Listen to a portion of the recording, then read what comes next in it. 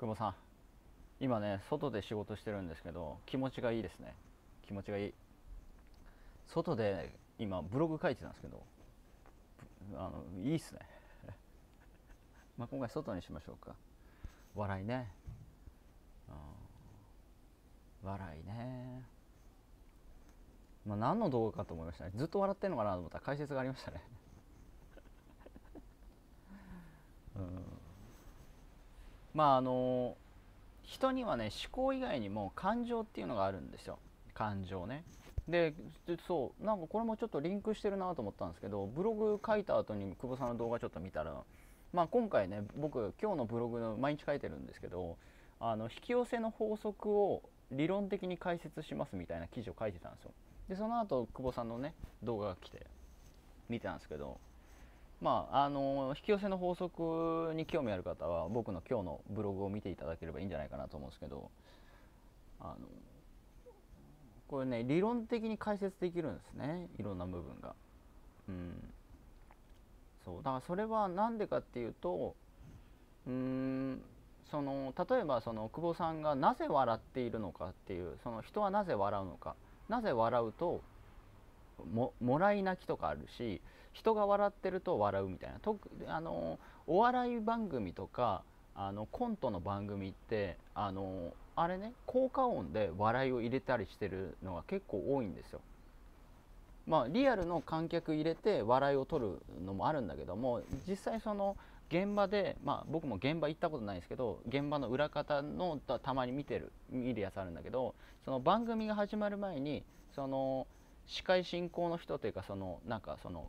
取り締まってる人がここで笑ってくださいとかでこう多分やってるんですよ。わここ笑ってみたいな。でその笑いをこう BGM で入れることによって笑いをまた引き寄せるみたいな。だ感情を出すと感情が引き寄せられるっていう、えー、泣いてる感情を見ると、えー、泣いてる感情を引き寄せる。笑っていると笑いを引き寄せるみたいな感じでその思考以外にも感情っていうのがあるのであの感情をうまく使う思考をうまく使うっていうことを取り入れると非常にいいと思います。うん、だからよくあの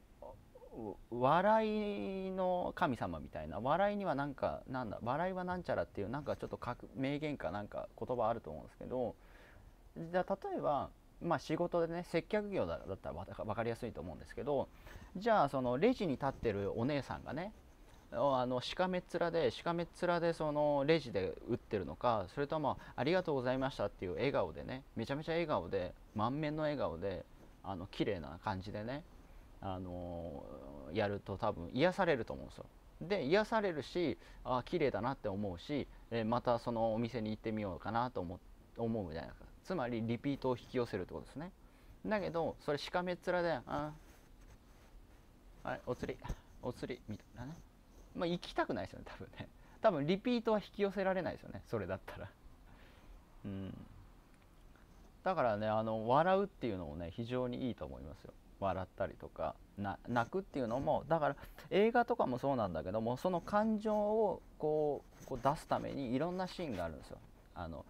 よくなんでそのか映画にはそのアクション映画だったとしても僕が好きなねあのワイルドスピードっていう映画があるんですけどもそのワイルドスピードっていう車のバトルの映画の中にも その男と女の物語があったりとか恋愛ラブストーリーが入ったりするんですよ。でなんで入ってるのかっていうとそれを入れることによってその視聴者の方の感情を引き寄せることができるっていうね違う側面でそのアクションはアクションのわーっていう感情だったりとかその恋愛だったら恋愛の感情を引き寄せていろんなエンタメがあって面白めるんですよね。